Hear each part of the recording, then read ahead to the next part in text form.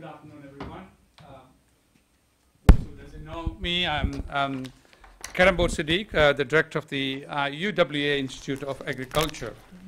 So it's a customary for the um, University of Western Australia to acknowledge that.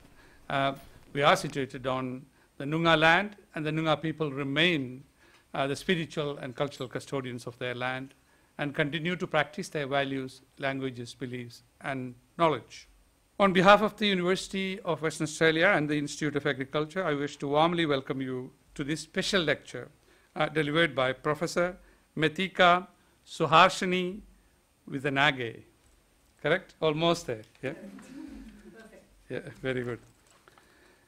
Meththika is a professor in natural resources and the founding director of the Ecosphere Resilience Research Center at the University of um, Jaya Vardhana Pura. That's again correct. So now your good photo there.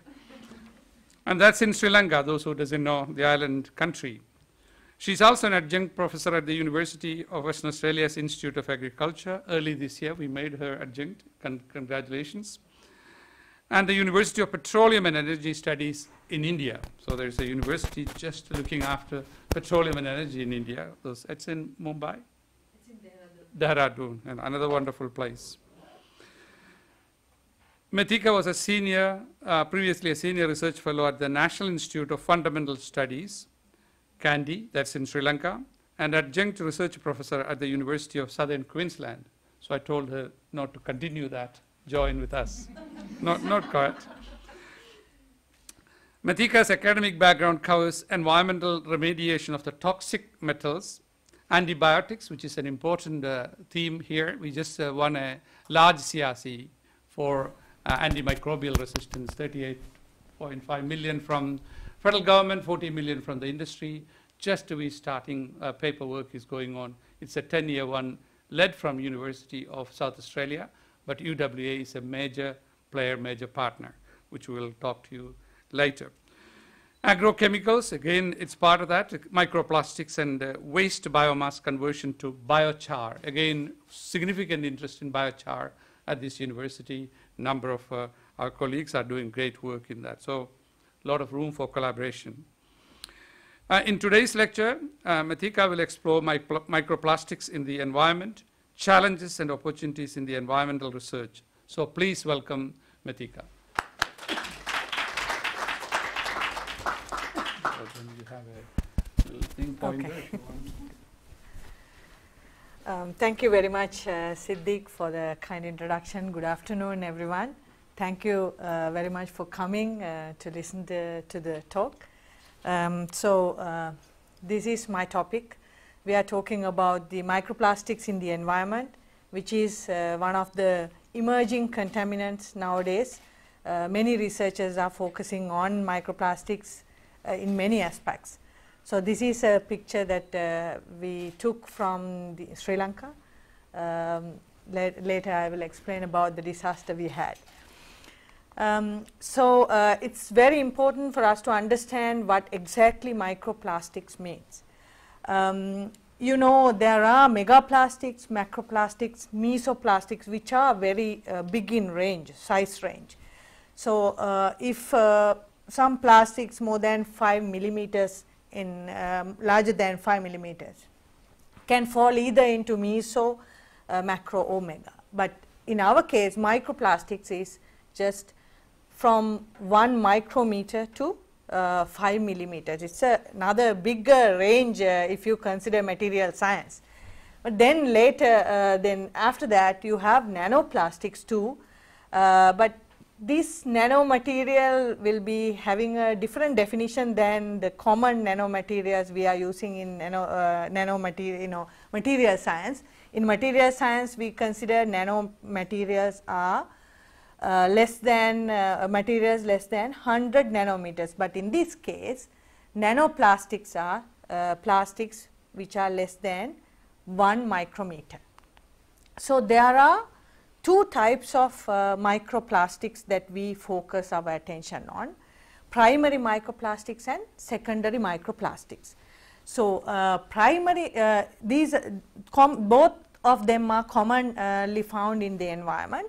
Primary microplastics are the plastics that are being intentionally produced for uh, consumable, you know, commercial purposes, right. We are using primary microplastics every day in our uh, personal care products from toothpaste to shampoo, conditioner, whatever the personal care products we are using day to day um, having microplastics uh, in their uh, system. So, uh, paints also one of the materials that we are using uh, primary microplastics, pellets, beads, needles, fibers and powders, many different. So, those are the uh, commercially produced microplastics that are directly being used in the um, products. But in the case of secondary microplastics, we throw all of our you know uh, plastic stuff uh, into the bin and then some of them are going into the recycling, some of them are ending up in the landfill sites and uh, um, uh, when you have uh, larger plastics breaking into smaller pieces, they, those are called as secondary microplastics.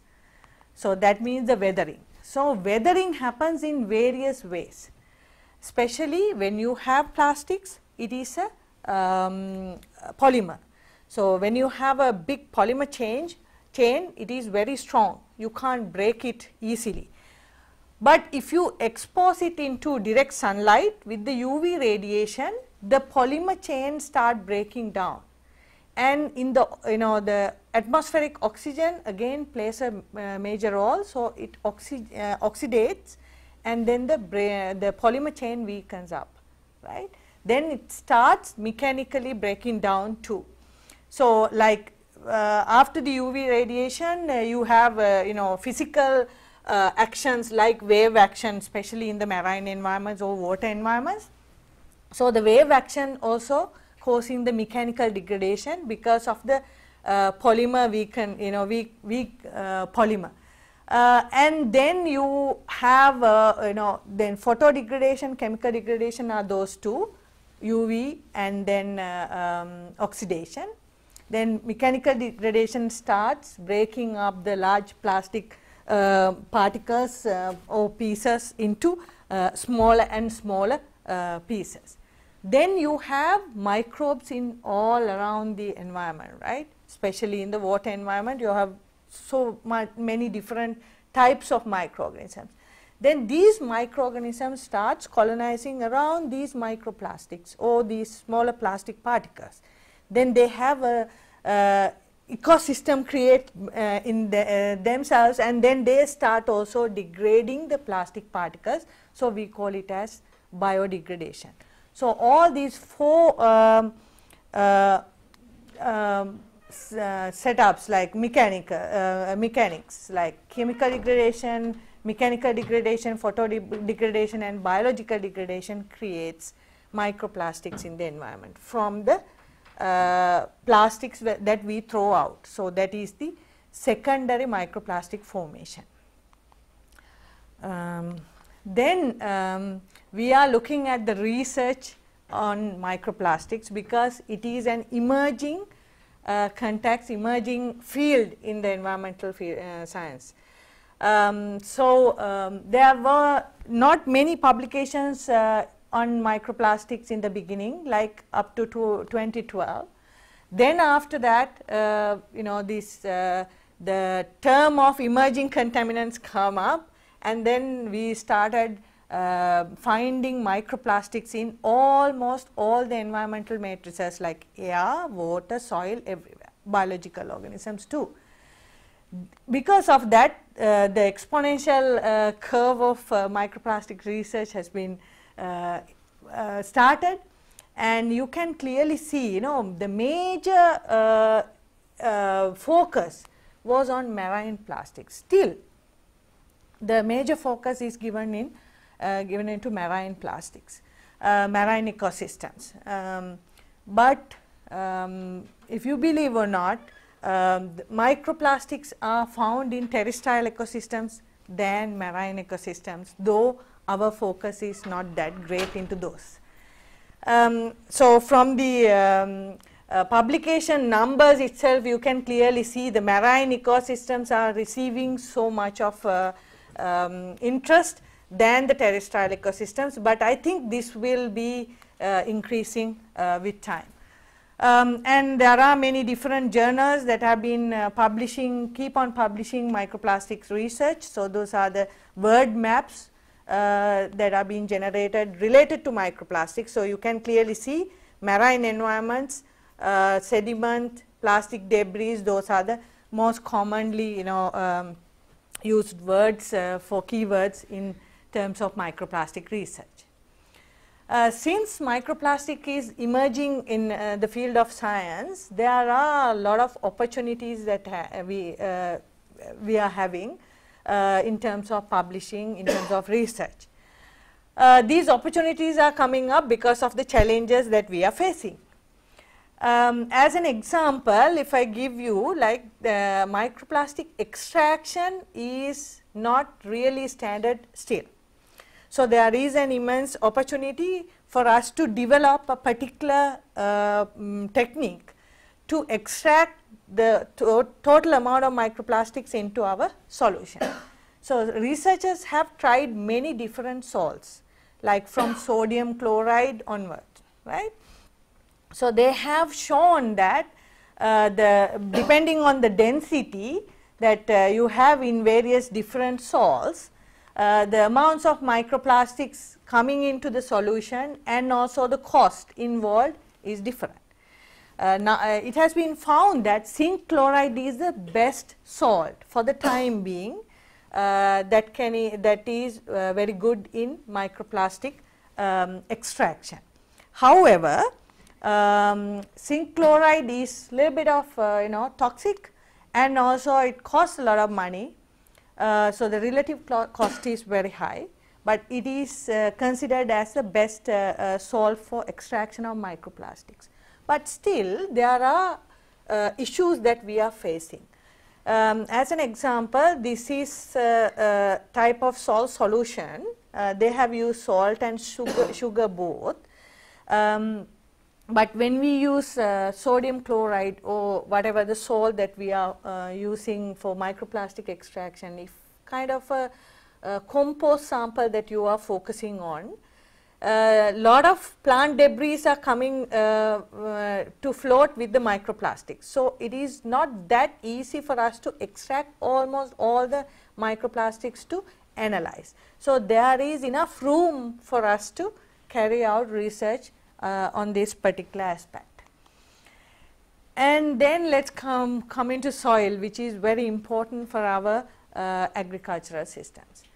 There are uh, three different sources of microplastics in soil. Very first one is the plastic mulch films that we are using. In my country we do not use that much of uh, plastic mulch films, but I know the temperate countries uh, a huge amount of plastic mulch uh, usage is prominent and these plastic mulches you uh, put on the soil to uh, stop soil erosion from the wind and to protect water evaporation right. So, um, the thing is when you have this plastic mulch on the soil it directly uh, you know uh, affect by the UV radiation. So, it starts degrading and um, normally farmers they do not remove the plastic mulch in the next season before plowing. So, they start plowing uh, with these uh, plastic mulch degraded maybe decomposed disintegrated plastic mulch. So, the mechanical plowing increase the uh, formation of microplastics. So, that is one example uh, of uh, plastic uh, microplastics formation in the agricultural soils. Then we have biosolids. Biosolids is sludge material which we get from the wastewater treatment plants. Um, countries like Australia, you have many different wastewater treatment plants and unfortunately these wastewater treatment plants are not um, particularly built for the removal of microplastics. So, it is just for the building of removal of other contaminants. So, microplastics goes and ended up in the sludge. This sludge is known as a good fertilizer in the agricultural systems. So, they add sludge into the uh, agricultural lands as a fertilizer. So, all microplastics from your day to day life from the households are coming into these biosolids and finally ended up in the agricultural system. Then comes the municipal solid waste compost. Countries like Sri Lanka, we have uh, large municipal solid waste dump sites. We do not have landfills. We are not uh, really keen on you know the environment. So, we just go and dump all the waste into a uh, place mostly close to the uh, water sources and then all the leachates, uh, all the contaminants, pollutants uh, go into the um, water sources. So, these municipal solid waste they take it to uh, form um, compost which is another organic fertilizer so called organic fertilizer and that compost always have microplastics in it. So, these are the three main aspects and we are not still clear when the microplastics are in the soil system what are the effects of these microplastics to soil physical properties, soil chemical properties and soil biological properties. So, those are not yet known 100 percent. So, as an example, uh, if you consider the soil water holding capacity which is a physical uh, parameter, polyester microplastics increases the uh, water holding capacity, but we do not uh, it is still not sure what happens with the polyethylene which is very common microplastics in the soil and again the soil microbial activity. Uh, polyester and polyacrylic uh, microplastics decrease the um, microbial activity, uh, but polyethylene we are not sure. So, there is ample opportunity in the field of agriculture, field of soil sciences um, with regard to microplastics on their soil properties. So, these are uh, the uh, stuff that is known to the uh, for the time being, but still there is a lot more to do uh, in terms of research to um, improve the understanding of what is happening with the uh, soil when you have microplastics in it. So, this is one such example from Norwegian group of scientists. So, they have tried to uh, uh, produce compost with uh, you know uh, bioplastics and with the petroleum micropla petroleum plastics too. So, when you have these bioplastics and plastics in the composting process for 9 days uh, these are the knives, plastic knives that we are using uh, daily like when you eat outside. So, this is the circle of it uh, at the end of 9 days in the uh, process of composting. And this is the uh, way how it degrades the bioplastic degradation in the uh, in terms of 9 days. So, this is how it becomes the macroplastic becomes microplastics in the process of composting.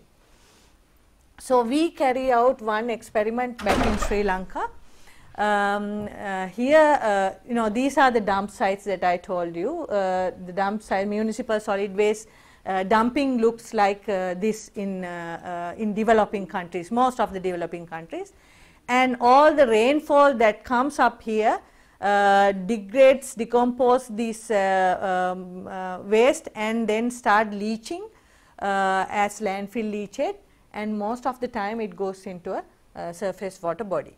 So, in Sri Lanka as an example, we have more than 260 dump sites and all these dump sites are located very close to a water source, river as an example and we take, we abstract water for water supply uh, for the general public from these uh, you know contaminated sources.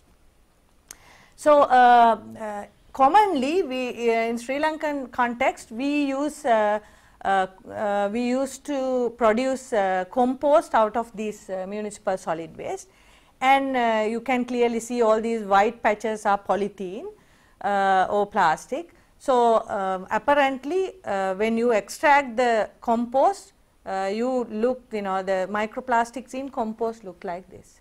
So there's a whole lot of microplastics in our compost. Um, to give you a little bit of details, uh, the colors, uh, most prominent colors is uh, uh, white and then transparent because those are from the plastic carry bags mainly. And then size is almost uh, the larger size like 2 to 5 millimeter in size and the shapes are fragments. Uh, polymer types are these you know polyethylene mainly and polypropylene too. So, these kind of work is very much needed uh, to understand how we are polluting the environmental systems. So, that was about soil and uh, uh, we know microplastics are in uh, air too and if you are living closer to that kind of a dump site you always have the wind blown microplastics coming into uh, your house or you know uh, housing areas and also sometimes you can breathe if they are very small in size. So, in terms of uh, microplastics in air, uh, there are microplastics uh, even in our clothes, uh, all these furnishing uh, items, the fabrics. So, those can be in the uh, as in dust and go into our lungs. So, there are very limited number of studies that have been carried out in terms of these microplastics in air. now, we are moving into water. So, um, when you discuss about microplastics, microplastics are tiny particles and they are very light. So, they always float in water, right. Water is something you have a lot of different types of contaminants, right. Uh, from heavy metals to organic different types of organic contaminants like antibiotics um, and many more. Um, when the manufacturers produce plastics, so, they tend to produce it depending on our usage, right. So, different types of plastics have different properties because depending on our usage. So, as an example this uh, um, uh, PET bottle uh, has a little bit of flexibility, right. So, this flexibility is coming up by the additives. So, the additives you put into polymers when you make plastics. So, those are the additives like you know phthalates, bisphenol A. So, uh, if you have more flexible plastics, you have more phthalates and more bisphenol. So, those are chemicals and these chemicals uh, when you have the secondary microplastic formation, these chemicals are leaching into the waters or leaching, leaching into the environment. So, additive leaching is there. And then, uh, so these are common additives, right? Thousands of additives are being in these uh, plastics. So, like solvents, uh, surfactants and many more. Then uh, the adsorption and desorption. Adsorption you know um, you when you have microplastics in your water system there are a lot of other chemicals too in the water system contaminants. So, these contaminants can interact with the plastic surface and when you have uh, uh, some contaminants attached to microplastic. Since microplastic is very lighter, it can take all these contaminants to a far distance. So, that is called adsorption and desorption. So, there have been uh, different studies uh, carried out on uh, hydrophobic organic contaminants. Microplastic is hydrophobic. So, hydrophobic hydrophobic interaction is very prominent. So, if you have uh, hydrophobic contaminants in your water system, they can be uh, easily absorbed into the microplastic surface. Um, and then you have hydrophilic organic contaminants such as antibiotics, right. Antibiotics are hydrophilic uh, and steroidal hormones and many more. So, these are in the environmental systems, environmental waters and these can be attached into microplastics and um, uh, it can act as a vector transporting all these contaminants to a different place. Um, so, we have conducted one uh, few uh, uh, you know we have already published few papers on these kind of aspects. Especially we looked at how microplastics are um, you know um, attracting with the uh, or absorbing the uh, antibiotics and what are the factors affecting like if you have humic acid or organic matter present in your water whether it will increase your microplastic uh, antibiotic interaction or decrease it. So, it is fortunately decreasing. Uh, and then sodium nitrite like uh, uh, ionic strengths. If you have uh, different salts in your water, then what would happen to microplastic and um, antibiotic interaction. So, those are the some of the examples from our work. Um, and then inorganic contaminants. When you have plastics produced, you can see plastics in various different colors. So, these colors are either from heavy metals incorporated to have different colors or uh, from dyes. So, uh, even in dyes you have different types of heavy metals for different colors. So, these uh, heavy metals can be leach out at the same time these heavy metals can be uh, absorbed into plastic surface and flow. So, there are a lot of uh, uh, work now being carried out about the role of microplastics uh, as a vector to transport different contaminants in the environment. Um, recently, uh, this particular technical term plastisphere um, um, you know emerged, uh, especially because nowadays uh, many microbial uh, research work is being carried out with, uh, with regard to microplastics because microplastics can give a surface to host lot of microorganisms in the environment, especially in the water environment and soil too. So, there can be antibiotic resistant pathogen, uh, antibiotic resistant bacteria and then pathogenic bacteria, also biofilm forming bacteria. So, these different types of microorganisms can um, have a home um, in microplastics and then uh, you know they can create um, uh, they can create plastisphere. Uh, it's like ecos, uh, ecosphere or um, hydrosphere kind of you know because of the microorganisms you have a plastisphere and also antibiotic resistance again uh, um, another emerging uh, field of uh, science with related to microplastics because of the prominence of both in the environment systems. And then we know that microplastics are going into our body, going into fish, uh, going into plants too. But we actually know, do not know uh, how these uh, microplastics are being going into the biological systems. The mechanisms and pathways are still not very clear. So, there is ample research opportunity on these uh, terms too. So, not only uh, like fish, uh, also the other biological organisms, even uh, mm, uh, plants. There have been studies showing that plants taking up microplastics into their system.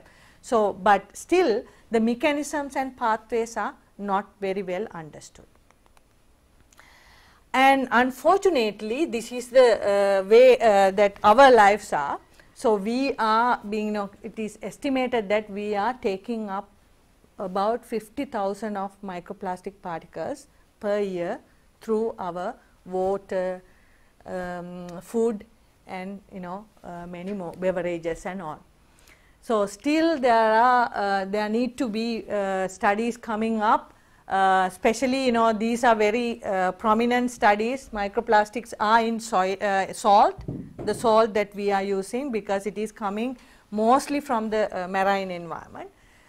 Um, and then um, beverages various beverages uh, various researchers have tested different types of beverages that we use for the abundance of microplastics in these beverages and um, so, these are the some of the results. So, there are many uh, studies um, in the uh, field of science especially uh, nowadays I think uh, there was a recent study reporting microplastics in breast milk, uh, microplastic in cow milk and many more. So, it is now with us inside us. So, we do not know the fate and transport of uh, fate and you know risks of microplastics in our body.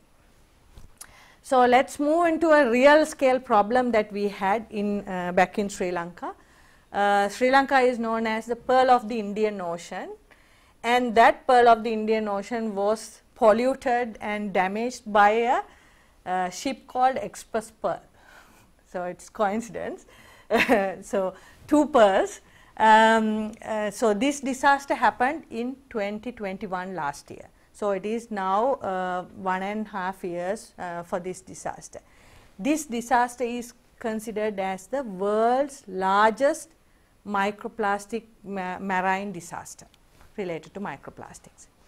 So, this particular ship was uh, um, uh, actually it was like a um, chemical cocktail actually right because this ship had more than 1750 metric tons of plastic nurdles which are being used to produce various different plastic stuff. And apart from that uh, we you know we saw that this ship was having a big amount of more than 11,000 metric tons of polymers plus many other uh, contaminants like sulfur, lead and many more different types of urea and so on. So, this ship was totally uh, damaged, totally fired and damaged in the um, uh, Sri Lankan uh, sea. Uh, so, all these uh, plastic pellets um, came into our coast, coastal waters and beaches. So, these were some of the pictures. so, this was you know like the sea waves sea currents was having 100 uh, percent polluted by my, uh, plastic nurdles. So, this was how it looked like uh, in our beaches during um, May, June 2021 and this is apparently one picture of very unfortunate disaster. So, um, UWA uh, actually helped us, us uh, quite a lot in uh, especially the Ocean Institute um, so, they tried to model the nurdle um, distribution or nurdle transport because that was the time of the southwest monsoon right. So, a lot of wind were there.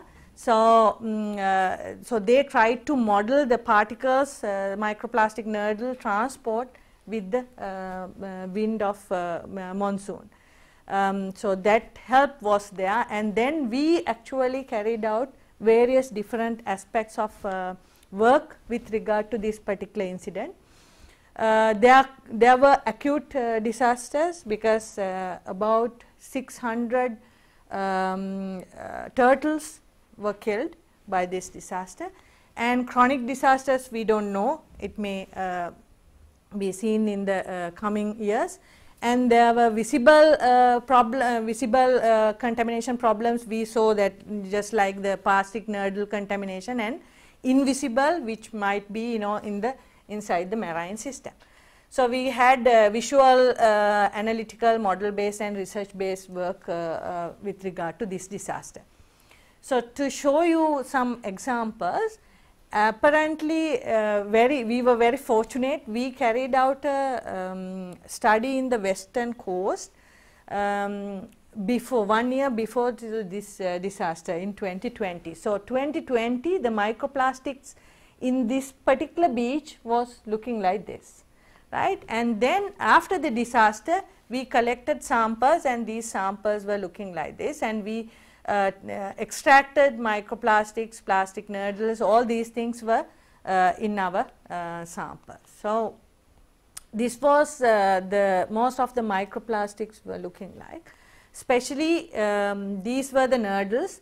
So, these nurdles uh, when you have pristine nurdles it is white in, white in color, but since this particular um, ship had a lot of sulfur and sulfur dissolved in water and then microplastic nurdles we could find in uh, yellow in color.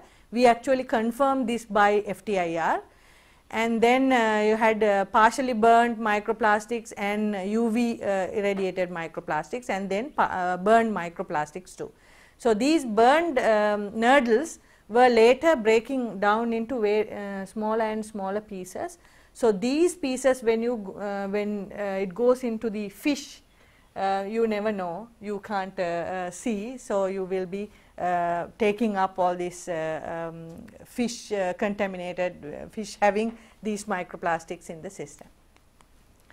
Uh, so, these are the large debris that we found because there were a lot of resins and other polymers. So, they uh, formed all these large uh, foams and debris. Uh, so, a lot of uh, PET and copolymers, LDPE, uh, epoxy resins and many different resins we found in, in, in the beaches. And um, this particular beach, this western coast is uh, uh, developing in the off monsoon and eroding in the monsoon season. So, microplastics, the plastic nurdles um, were time to time you know burying under the um, uh, beach sand because of the uh, developing uh, nature of this particular beach. So, we could found we could found uh, like uh, about 2 meter depth until 2 meter depth the nurdles were contaminating. Um, so, there were like more most the contamination was seen in 0.5 meter 0.3 meter in depth. So, uh, with time it may go uh, more uh, and more in deeper. So, we actually were able to publish a few research articles based on this particular um, incident. Uh, so, if you are interested you can read these and um, get some uh, insights too.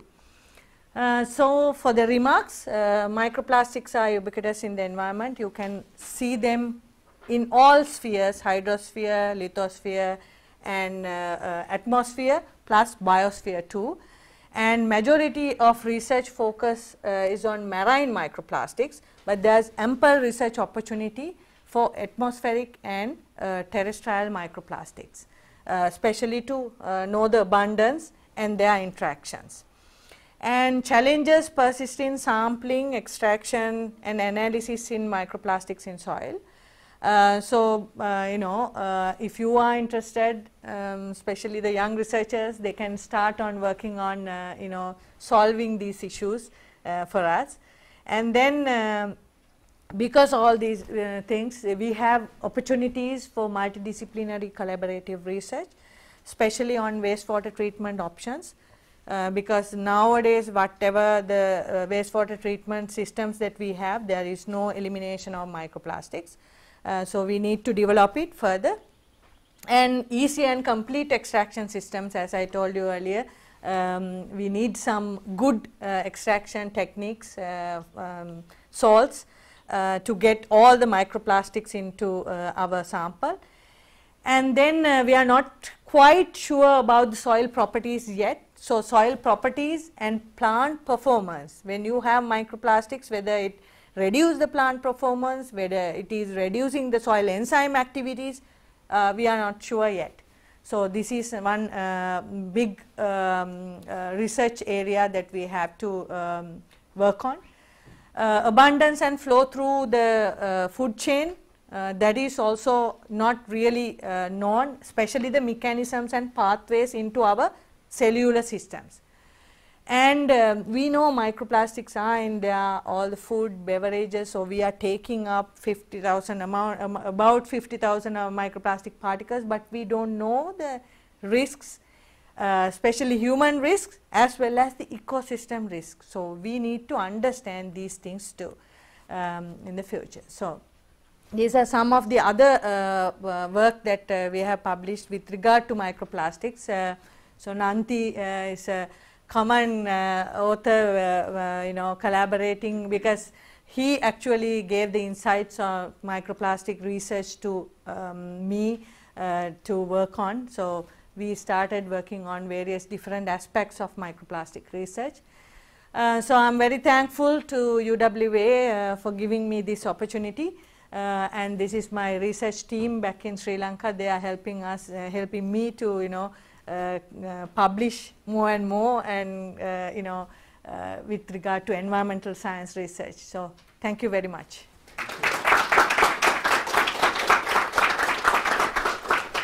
Thank you, Meththika, for that wonderful um, talk. So we'll take some questions, uh, uh, and please uh, be brief. Yeah. Tell your name and where you are from. So. Thank you, Meththika, so much. I'm, I'm a PhD student working on microbial plastic degradation. Okay. So that was a super summary of you know the state of microplastic pollution and also all the consequences throughout all the different ecosystems. So my question is about um, the source that you use for extraction of microplastics, because my understanding is the longer microplastic stays in the environment, the more biofilm is developing on them. And so the density of the particle increases, Yeah. and therefore it's even harder to get it out of the Exactly. sample. So how do you deal with that? Is it do you see that as well? Um, no, uh, uh, that has not been uh, you know analyzed yet. So it is you know uh, for you. Uh, I think it will be very novel research uh, outcome uh, for science because no one has uh, dealt with these kind of problems yet. So everybody is trying to see the pristine microplastics in soil and how it works, or pristine microplastics in water and how it works. So no one has uh, tested uh, microplastics with biofilms and how it deals with the extraction technique. So it is a very much important study that you are carrying out. So no uh, news, you know, new new things from me about that because that is not uh, being studied. Again, Uh, Thank you for a good, pres- uh, very good presentation. Uh, my name is Agya. I'm a PhD student in agriculture. I, my question is that uh, you talked about uh, particle size from 1 millimeter to 500 micro, uh, micrometers. What about the particle sizes which are below that range and uh, what are the possibilities for their accumulation in the different organ systems and uh, like different organisms? Uh, are there any researches available right now? Yeah, yeah. Uh, one millim, uh, one micron to five millimeter is the microplastics, and uh, uh, less than that is the nanoplastics. So um, many studies there are reports that uh, nanoplastics and very tiny microplastics are taken up by plant systems, plant root system, and also in our uh, like breast milk and our you know bodies, especially fish as well. So there are studies, uh, but still the mechanism of uh, cellular uptake is not known yet. So that is a research, uh, a new research area for the uh, upcoming researchers. John. Uh, Thank you, Professor. Um, As I outlined to you before the, the talk started, I'm interested in putting plastic sheeting on dam catchments, which means that we will have plastic sheeting over extensive areas, uh, up to a hectare and probably several hectares. And what I want to know is, assuming that the plastic we're using is not showing vi- visual signs of degradation, will there be the loss of nanoplastics off the surface of that incrementally? Yeah. And I use the, compare it with the example of uh, galvanised iron roofs, which have metallic zinc on them, and you get zinc in the Okay. water. Mhm. Slow, Yeah. slow, de- slow degradation. Degradation, that yeah. So it is, it is, uh, you know, it will be a big problem later on if you have these my, uh, plastic films uh, on this system because uh, especially your dams, you know, um, system. So uh, because of the uh, UV radiation, those will be break, uh, broken down to, to uh, smaller particles uh, in few years. Um, so But, but uh, I make the distinction between the visible breakdown into particles and just the uh, loss of surface particles off the plastic. Does, will that be occurring all the time, right from the Yes. you lay them down? yes, exactly. It will start. And intense uh, hot weather here, summer, Yeah. and so on. So yes, the answer, short answer is yes. Uh, I appreciate that the longer you go, the more the, the loss will be each year. Thank you. Question from here. Hello, I'm George Fritz from Molecular Sciences, group Yes. leader there. Uh, so I would be curious uh, in your perspective on wastewater treatment. So, uh, besides describing what is there, where are we heading? So, what are the solutions that you see? Um, um, uh, wastewater treatment systems with mi- microplastics, uh, there is no much uh, work going on, uh, especially to remove microplastics from the uh, wastewater treatment plants, because they are focusing mainly on the uh, emerging contaminants and like you know antibiotics, pharmaceuticals, those removal of those.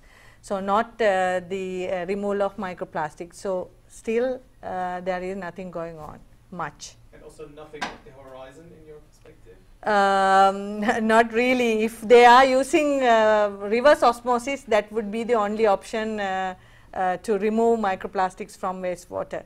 Otherwise, uh, it will be very difficult. flocculation, uh, yes, there is some aspect. Uh, with the flocculation, you can remove uh, a little bit of, uh, you know, like uh, half of the microplastics maybe, but still again the, those go into the sludge. So that's a circle. From you there?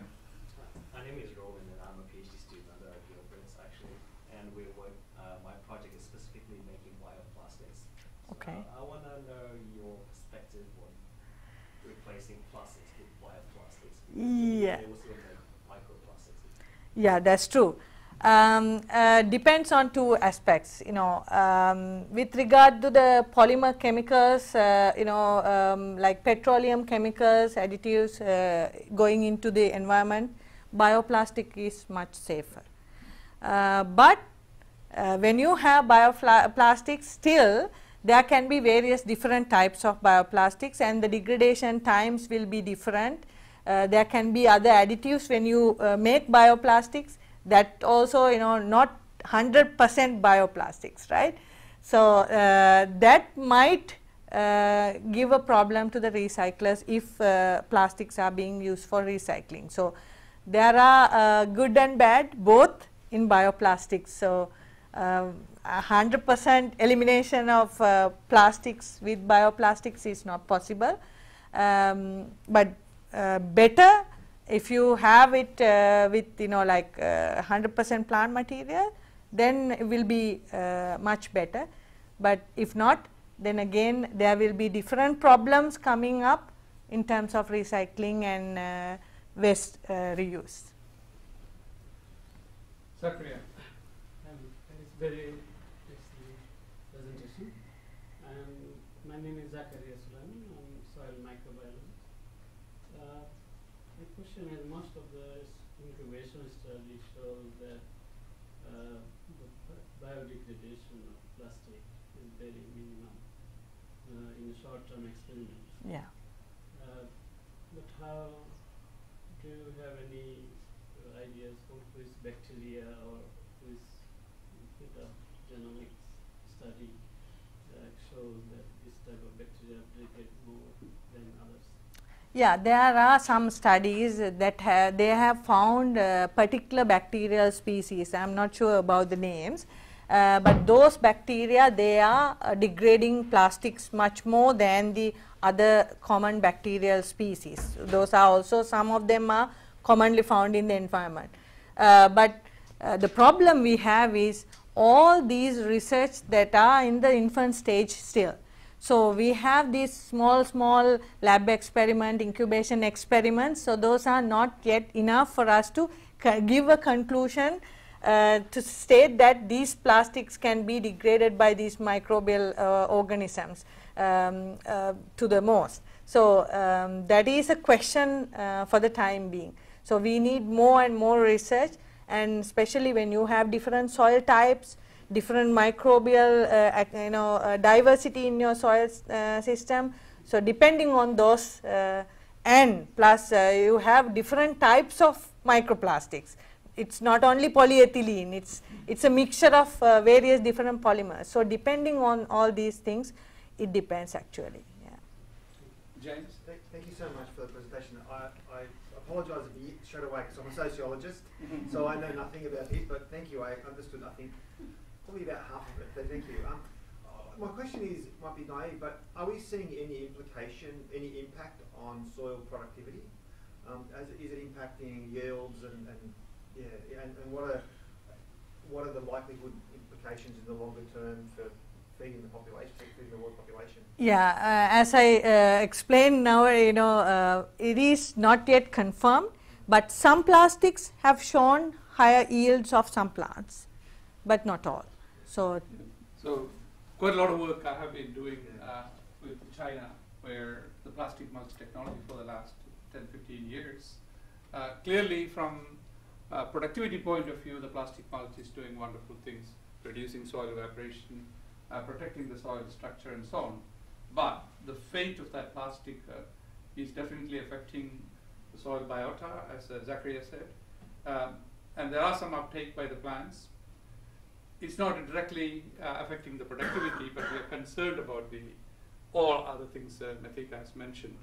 But I was just going to ask uh, the structure of those plastics, uh, if you change, so we're looking at different colors, uh, not easily uh, degraded by, by sunlight Yeah. and UVs, and then developing a technology where this is being recycled, etc., for the interim, because plastic is going to be, see my body, is plastic maybe, uh, going to be there. So we need to look at a transitional stage, but there is no clear evidence that uh, this is uh, affecting the productivity directly, but indirectly uh, through the soil biology and other things. But there are a lot of other advantages, the, the nutrient cycling, water cycling, reducing evaporation so on. Sorry, Yeah, Exactly. So um, we can't be surely say that uh, this is the uh, you know conclusion, but still uh, there can be problems from plastics as well as the benefits from plastics. So we can't avoid them 100%. So zero plastic is not a concept that we can achieve.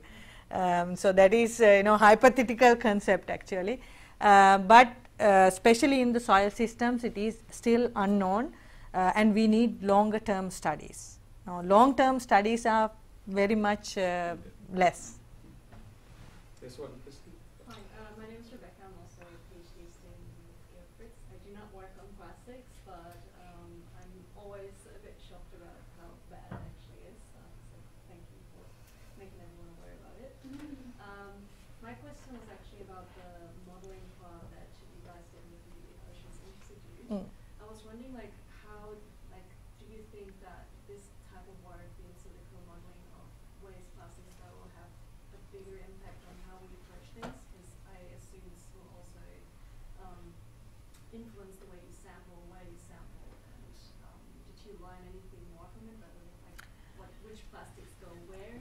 Um, No, it yeah, it depends on the uh, the uh, media that your plastics are. So if it is in seawater, if it, it will be different uh, than in fresh water, depending on the density. Uh, so. stuff like that in soil? Um, no, not really. No, uh, soil modeling of plastics have not been done, uh, but this was a special case uh, um, uh, where Professor Charitha Pattiaratchi is originally Sri Lankan, so he helped on this case, especially his uh, particle uh, modeling. Uh, so. I, I'm not aware of, about the, the conditions that they have used, but um, especially when you have, uh, depending on the media that uh, you are working on and the boundary conditions, uh, it depends on you know the the model that you are working on.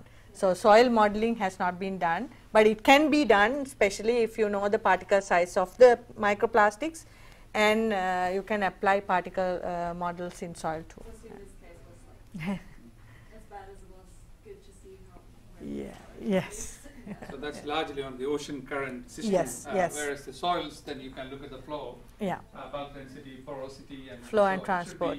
be reasonably uh, easy to do the modeling. Yeah. yeah. Hi, Sajini. I'm also from Sri Lanka. Um, it's very interesting and very uh, problematic areas in the world, I know. Uh, just a small uh, concern about the experiment when it comes to the experiment side of the microplastics. So if you are doing kind of a, any experiment, we are using hundreds of plastic wires and tips. Everything is plastic. So in terms of experimental side, how we can think of the microplastic uh, experiments. Yeah, that is uh, very true. Uh, we have to have controls because everywhere you have plastics. So try to use as much as glass stuff. So that was what we did. We use uh, glass uh, or metal stuff for sampling, uh, taking up you know bottles. Everything was glass, uh, but still um, you need to have a control, positive control when you have uh, plastic work going on because uh, you can have some uh, contamination from the background. So uh, control is a must uh, to eliminate that uh, you know contamination. So as much as possible we have to try with glass and metal stuff. Same with people studying eye and Fe. So Yes. you come to use the knife for cutting the plants that Yeah. go ruin the experiment. Yeah. Pardon me, I, I, I was late, but, but from Sri Lanka. and maybe a contributor to the problem at some time. I worked in the chemical industry at CIC as a chemist. Okay. Sociological problems, like so plastics were seen as the problem, uh, as the solution to uh, many problems at one time. Now we are seeing the solution Mm. turning back into a problem. And, and we used to market polyacrylates as, as uh, absorption, ab- Okay, abs- yes, absorption absorbent. material Yeah. to hold water. And at one time thinking of making coir-based uh, pots Mm. with Polyacrylates. polyacrylates as adding to the water holding capacity. And a lot of uh, uh, san- san- uh, female sanitary products Yes. And, and baby nappies Yes. used to have this to Mm. hold more water. I, I was just wondering, so because there's a lot of researchers on a, on a definitional a- aspect of this problem, uh, plastics comes with the uh, explanation that it's very flexible and, and that sort of physical property. But uh, more chemically, petrochemical derived and bio source derived, have we some definition, definitional uh, parameters Um, describing the, coming to describe the problem? Yeah, actually it is, as you mentioned, it is bioplastics means it is from biological materials, but it is not 100% biological materials. But uh, normal uh, microplastics we describe as petrochemical uh, products. Uh, so tho- those are the two different uh, definitions uh, in terms of microplastics, but there can be various different aspects as you mentioned with the additives that you are including into plastics. So it is not only the petrochemicals, but also a lot of different other chemical products in your uh, plastic uh, whatever you use A lot of corn, uh, maize is being used for. for bioplastics. Yeah. Yes. So I'll take one more, or two more questions and I'll, I'll stop. Yeah, uh, you have already one, so you, yeah. Hey, uh, thank you so much for your talk. I'm a PhD student uh, with the Oceans Institute studying microplastics and seafood. Um, I was just wondering what's happening in Sri Lanka regarding like, are there any bans on single-use plastics happening over there like there is in Australia? Um, just curious, yeah, what's, what's happening in that space there? Yeah, we had a ban in uh, uh, one type of plastic films like uh, we use uh, plastic film materials for lunch, you know, cover the lunch packs and all. So that was banned. Um, only that uh, ban was there, but you know, in Sri Lanka, all these bans are short time. Uh, when the new government comes, uh, you know, it changes. So we don't have uh, long-term policies.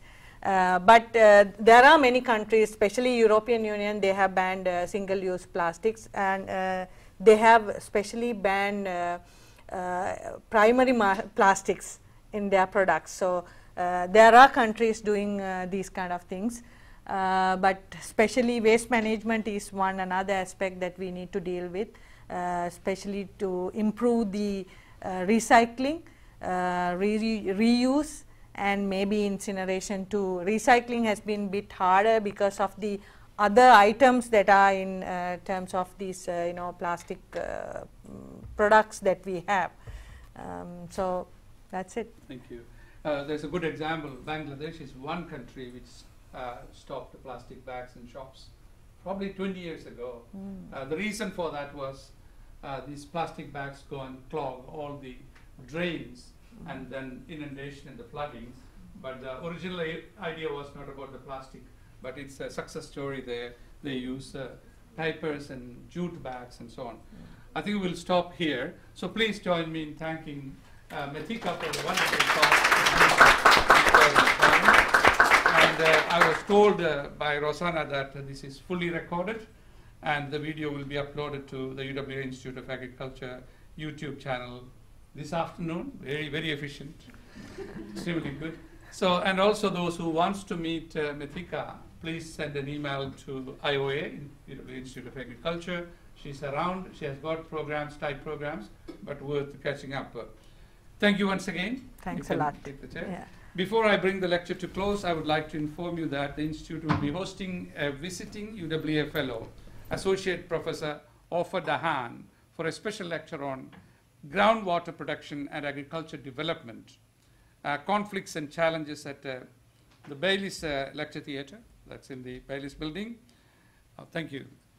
And on Wednesday, the 16th of November, 12 to uh, 1 p.m. The, this is a free lecture.